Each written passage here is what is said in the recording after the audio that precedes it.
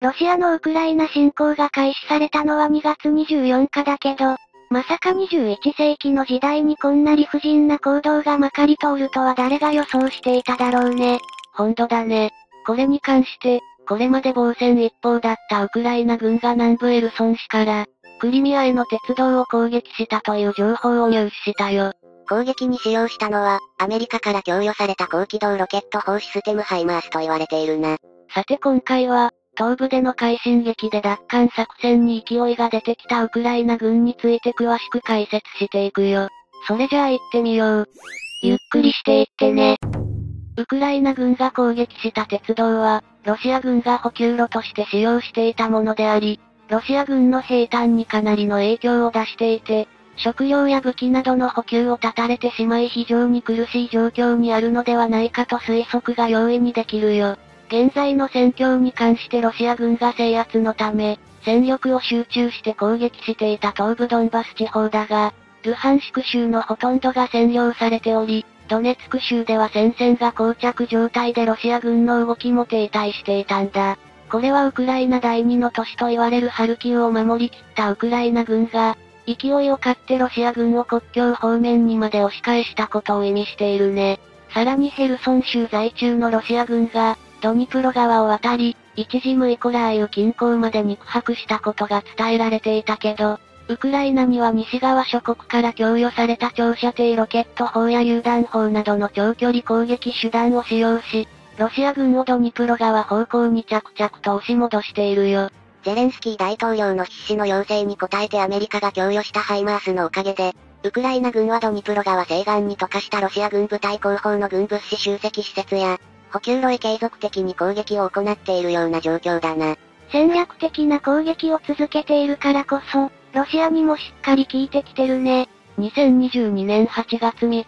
ロシアが実行支配しているクリミア半島と、ヘルソン市を結ぶ重要な補給路になっている鉄道を砲撃によって破壊した結果、そこは使用不能になったという事実をイギリス国防省が SNS 上で発表したよ。ウクライナの犯行は、これだけではなく前々日の8月1日、ヘルソン州ドニプロ川東岸のロシア支配下にある鉄道駅付近で、ロシア軍貨物列車を長距離攻撃によって破壊したとも言われているんだ。その他にもヘルソン市とドニプロ川東岸を結び、戦車や装甲車両なども使用していたアントニフスキー橋へのロケット攻撃を行い、通行不能にするとともに、ドニプロ川東岸にも攻撃を仕掛け、兵站施設や補給路の破壊などを行ったみたい。ウクライナ軍が南部で攻勢を強めたことにロシア軍も慌てたのか、主力を東部戦線に置いていたが、そこから部隊を移動させ、南部の防衛を強めようとしたな。しかし、ロシア軍が東部の部隊を動かしたことによって、もともと進みが遅れていた東部戦線の進行が停滞し、ここでもウクライナ軍が反攻に転じる様子が見られるぜ。そして8月9日、ドネツク州のキリレンコ知事は、ロシア軍が東部ドンバス地方の前線全体に激しい砲撃を仕掛けていることを語っており、同州内は相変わらず緊迫した状況が続き、ロシア軍の砲撃と空爆が止まっていないけど、その戦果は決して多くはなくロシア軍に制圧されていないと発言したよ。また、ウクライナのアレストビッチ大統領府長官顧問は東部ロシア軍は攻勢をかけようとしているがウクライナ軍は抑え込んでいるため、我が軍がロシア軍を包囲する可能性さえある場所もある。北東部のハルキウからドネツクに向かう我が軍は前進を続けていて、ロシアが占領していた町や村を奪還しながら北東部の要衝イジュームにまで迫っていると発表したね。これらの発言を聞いた限りでも、ウクライナ軍の反転攻勢したことは間違いなく、ロシア軍が押されているという情報にも信憑性を感じられた理由だな。鉄道攻撃を仕掛けた同日の8月3日、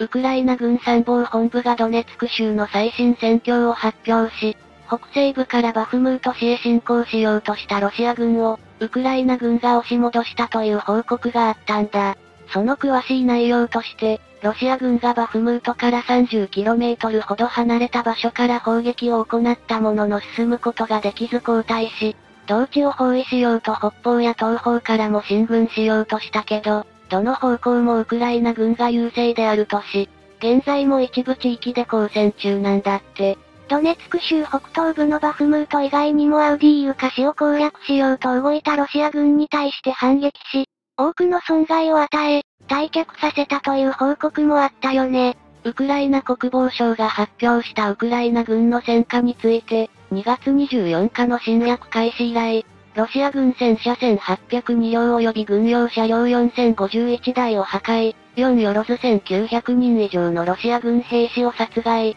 他には軍機223機、ドローン744台を撃墜したとのことだね。8月20日のアメリカ国防総省のカール国防次官はロシア軍の戦死者と戦傷者の合計数は7万人から8万人と推計される。また、プーチン大統領が開戦時に挙げた目標をロシア軍は、何一つ達成できていないことを無視してはならないと記者会見で述べたよ。ウクライナ優勢に進みつつあると推測されるが、それでもウクライナへの支援は継続されることが決まっており、アメリカ政府は10億ドル約1350億円規模の追加武器支援を行うと発表していて、ハイマースの砲弾や地対空ミサイルシステムなどの追加供与するということだぜ。これで昨年1月にバイデン政権が発足以降のウクライナへの武器支援総額は、約98億ドル約1兆3200億円に上るということが明らかになったんだけど、この巨額は国家予算の何パーセントを占めることになるのだろうかと気になるところだよね。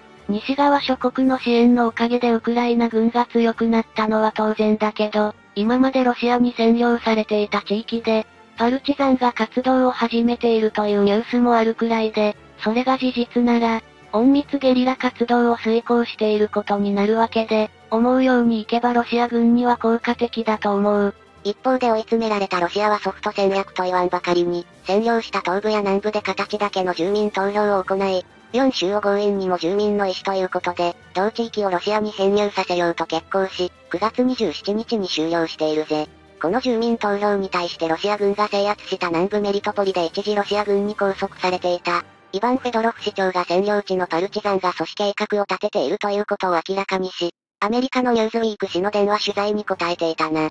この市長は地元のパルチザンや特殊部隊、情報員は妨害行為を行っており、目的はザポリージャ州やヘルソン州でロシアに編入するか、東部ドンバス地方のドネツク州ルハンシク州と同じような傀儡政権を設立させるのを、阻止する活動を行っていると記者に述べたよ。当時、8月中に住民投票を実施したいというロシアの野望は果たせないだろうとフェドロフ市長は主張しており、その裏付けは7月から8月にかけて2週間聞き取り調査を行った結果からだったんだ。その調査対象者はメリトポリの住民でロシアを支持するかどうかを聞き取られ、結果は現在メリトポリに残留している市民の中でロシア支持者は10%未満だったというのが理由だね。しかもロシアはメリトポリ以外の南部占領地域でも東部のように住民の支持は得られておらず、特にメリトポリでは旗色は非常に悪く、ロシアは占領地域支配を強固にするため、